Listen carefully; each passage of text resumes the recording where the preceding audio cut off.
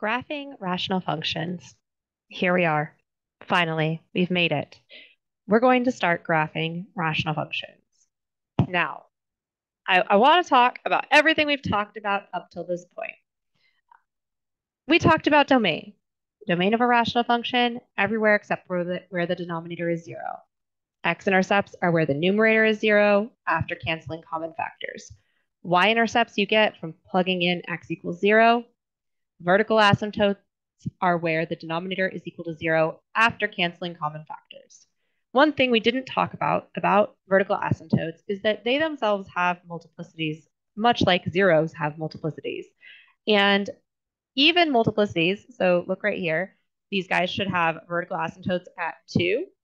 Um, look at how these function, how the function, how the rational function goes the same direction on either side of the vertical asymptote.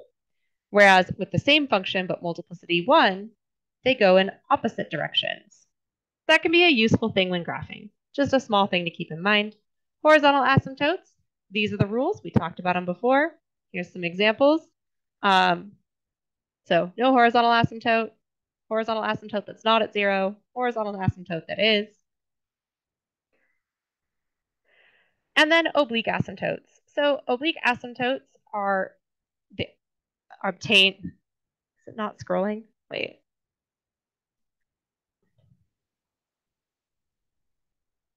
Hmm. Why is it not showing the bottom of my screen? That's strange. Oh, it's lagging again. No, you don't do this to me. Okay. Um, this video is going to be laggy. I've already started it. We're not starting over. Oblique asymptotes happen when the degree of the numerator is exactly one more than the degree of the denominator. So degree three versus degree two in this example here. Are you going to show my mouse? There we go. Um, so degree three versus degree two. We obtain an oblique asymptote by doing polynomial long division. The oblique asymptote is the quotient. So just a few examples of rational functions. These are just pictures, all right? But I want you to get an idea of how they look. Oh, this whole thing is real laggy. Notice with the horizontal asymptotes and the vertical asymptotes, the, the rational function is going to hug them. It's going to hug them as it approaches them. Sometimes we come up and come back down. Sometimes we come and make this fun little curvy shape. With these corners here, notice that the rational function always makes one of two choices. It's either going to make this shape here, or if it were to go down here, it would make this shape here. So things that we need in order to graph these rational functions, we need to know where their asymptotes are. That's important. We need to know where their intercepts are. But that's not enough for us to fully graph the picture we're also going to need to have a little bit more information about points around the asymptotes because we need to know if this thing goes up or if it goes down. So let's um let's scroll and let's do an example. Graph the function 2x over x squared minus 2x minus 3. All right, so we want to find the domain of this function first. That's going to require factoring. So we have x minus 3 times x plus 1 in the denominator. We don't want the denominator to equal 0. Oh, it crashed. Okay, let's try again.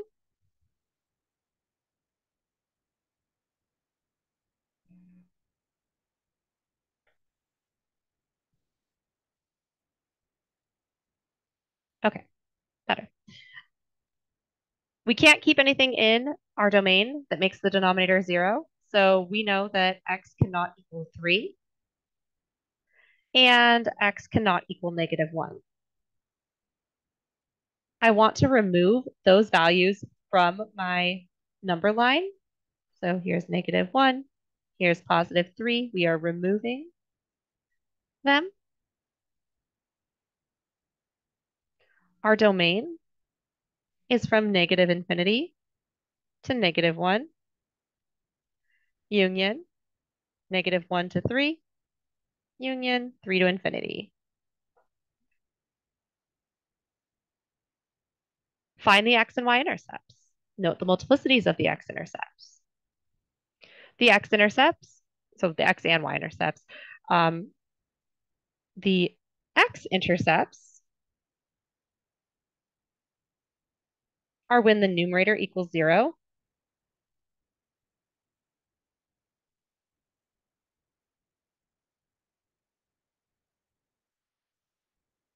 So the numerator is going to equal zero when 2x is equal to zero.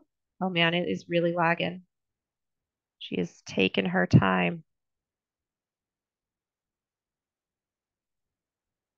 Okay, there we go. We caught up. When 2x is equal to zero, that means when x is equal to zero. The multiplicity of this zero is one, which means it's going to cross the x-axis.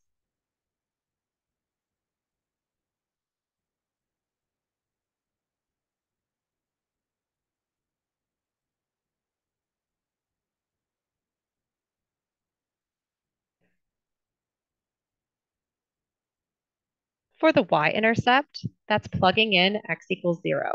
So we're trying to find f of zero, plugging in zero for x. We get two times zero over zero squared minus two times zero minus three. That's zero over negative three, which is zero. So the x-intercept is zero, zero, and the y-intercept is zero, zero. The only intercept we have is zero, zero.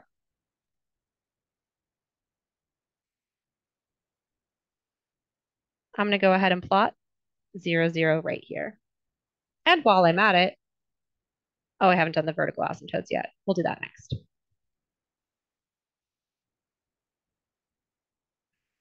So find all asymptotes, vertical, horizontal, and oblique.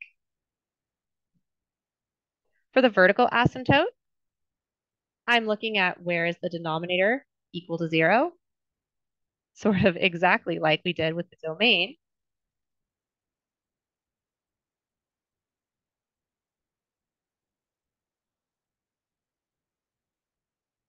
So we get x equal to 3 and x equal to negative 1 as our vertical asymptotes. And maybe I'll make those in black and highlight it blue.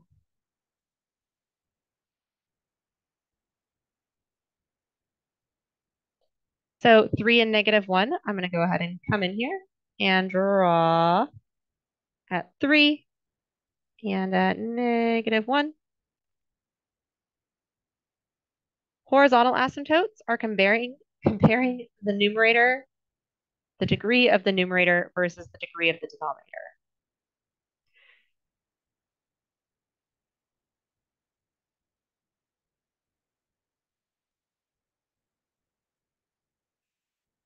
The degree of the numerator is 2. The degree of the denominator, no, sorry, the degree of the numerator is 1. I was looking at the denominator. Degree of the numerator is 1. The degree of the denominator is 2. So the degree of the numerator is less than the degree of the denominator. And that means that there's a horizontal asymptote at y equals 0.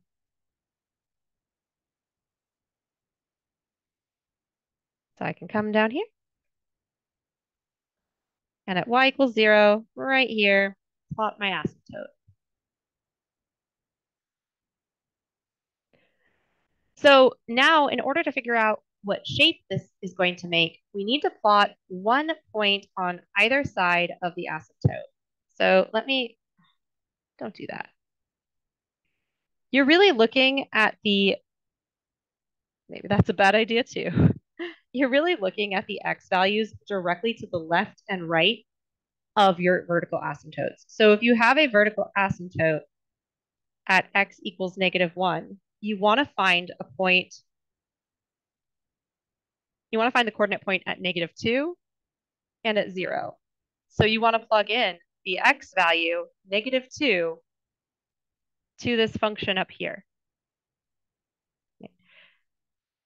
Doing this on your calculator is the best way you could do this.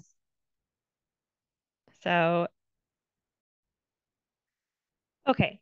Um, I, have pulled up my calculator. I want to show you how to do this quickly on the Casio calculator that I've recommended for the class. I am having a lot of trouble getting this video to not be blurry, so I do uh, apologize. I tried.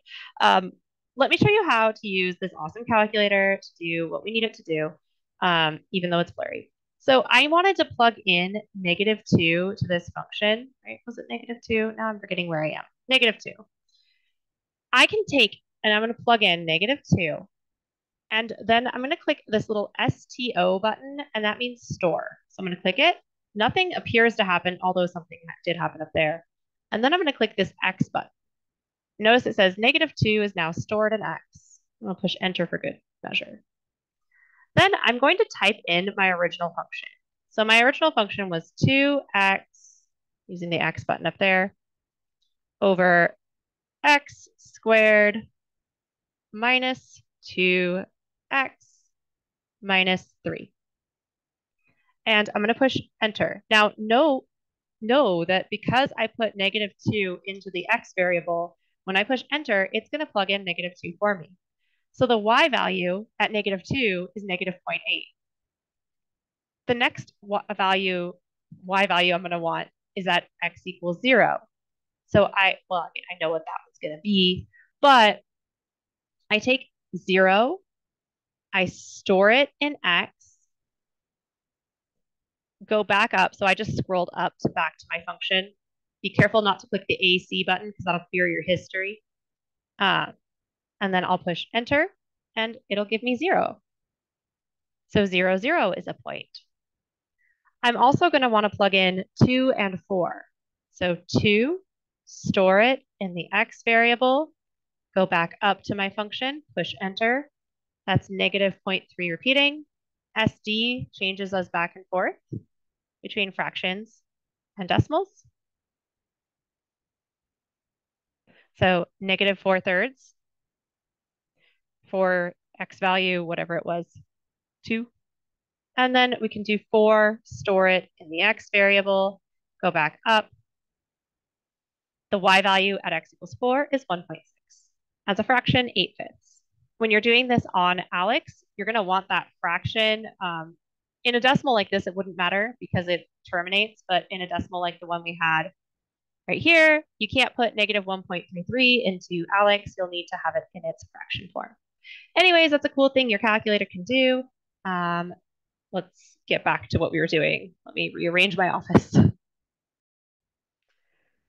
All right, so what I've done here I've chosen x values just immediately to the left and right of our vertical asymptotes. And then I plug those values into my calculator um, to get the y values. That was what I just showed you now. So I have negative 2 and negative 0.8. Um, negative 2 gave me negative 0.8. So that is a point on the graph. Negative 2, negative 0.8. So it's like here. The point 0, 0, I have already plotted. That was an intercept.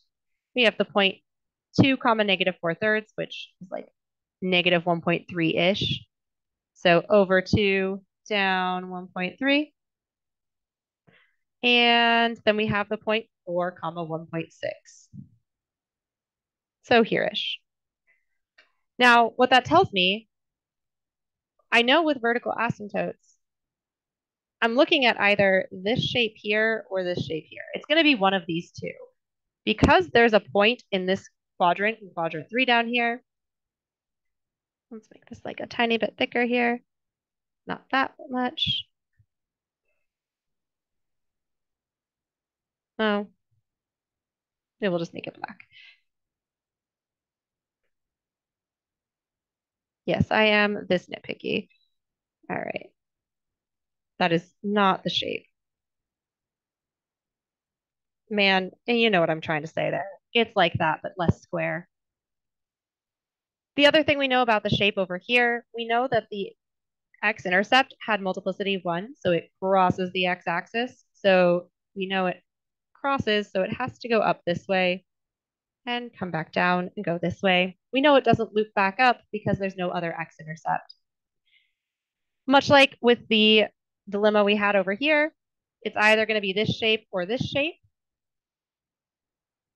And because we have a point right here, we're going to pass through it and bam, there's our graph. So let's, let's try it again. Let's try it again. Here we have a function. We know x cannot be equal to 1 or negative 6. Those have to be excluded from our domain. This is going to end up being negative infinity to negative 6, union negative 6 to 1, union 1 to infinity. The x-intercepts are going to be when the numerator is equal to 0. So it's already factored, so I'm going to take the numerator, x plus 3 quantity squared times x minus 2. And I can pull these down a little bit. Here we get the 0, x equal to negative 3. It has multiplicity 2, which means it's going to bounce at that x-intercept. And we have x equal to 2 with multiplicity 1, which means it crosses at that intercept.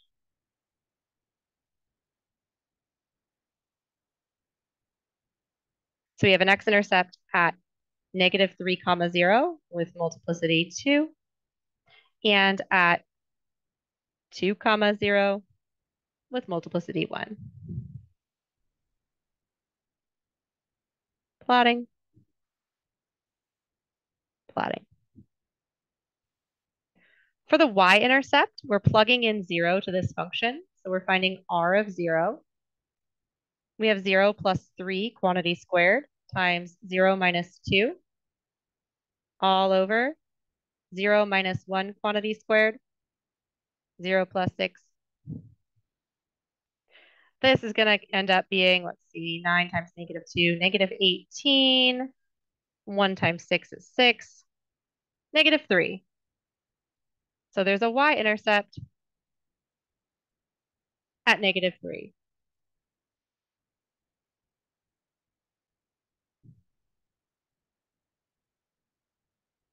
That's the point, zero, negative three.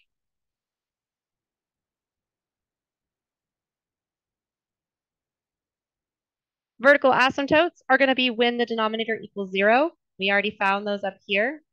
They're going to be the same ones. So we have a vertical asymptote at x equals one. And this one has multiplicity two, which means that when we draw this vertical asymptote, either they're both, both sides are going to go up the same direction or they're going to go down the same direction. There's also a vertical asymptote at x equals negative 6. This one has multiplicity 1, which means they'll go in opposite directions. So it'll either be like this and then this, or this and then this. Ooh.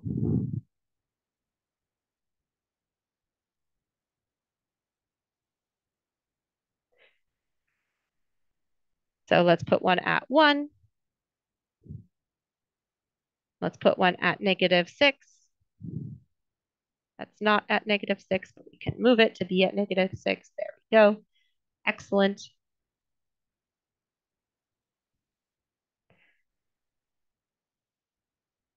Horizontal asymptote, we're comparing the degree of the numerator versus the degree of the denominator.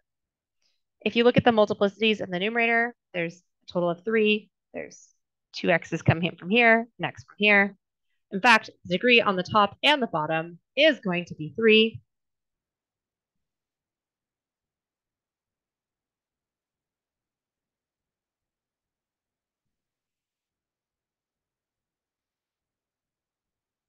So there is a horizontal asymptote at a ratio of the leading coefficients. y equals ratio of leading coefficients, leading coefs. Good enough. The leading coefficient, if I were to multiply this whole thing out, you would have an x squared and an x. Why don't we just do it the way that we've Done it before. Here's how we've done it before to find the leading term on the top.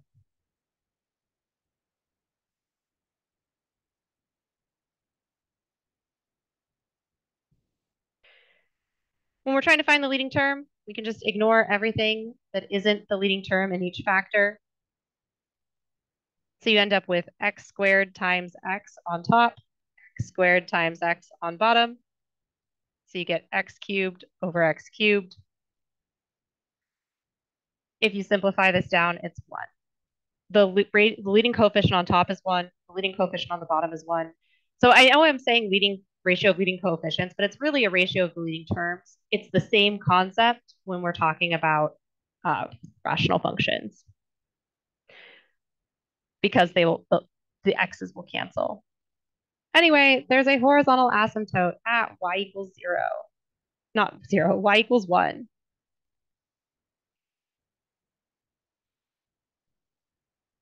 So y equals one. I'm going to need additional points on either side of my vertical asymptotes. So I have a vertical asymptote at x equals 1. I'm going to use the points 0 on one side and then 2 on the other. There's a vertical asymptote at x equals negative 7 or negative 6, which means I'm using the x values negative 7 and negative 5 one to the left, one to the right. I'm plugging these in my calculator. I showed you how to do that just a moment ago. Um, so that is what I'm doing right now. I'm gonna pause the video while I do that. All right, so I plugged these x values into the original function, this guy right up here. The y values I got were 0, negative 3, which is already plotted because it was a y-intercept, 2, 0, also an intercept, then I have the point negative 7, comma 2.25.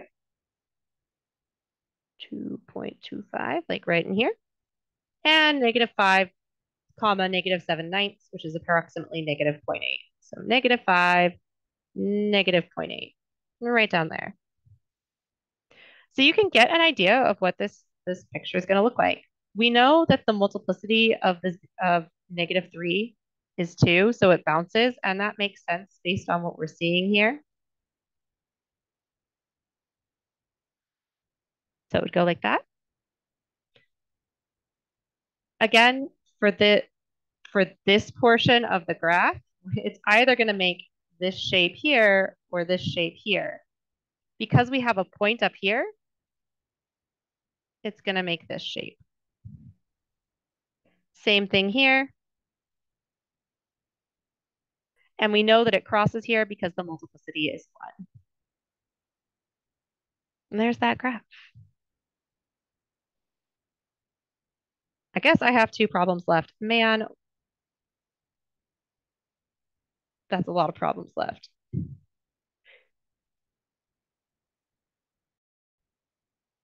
You know, I think I'm going to break this up into two videos. I really have to, I have to get going. I have to get home to my son. So this is going to be two videos, I guess. Um, we will take the other part, well, I'll do the other part. For you, it'll be a click away. Goodbye. I hope you have a fantastic day. I'll see you later in another video. This video, part two.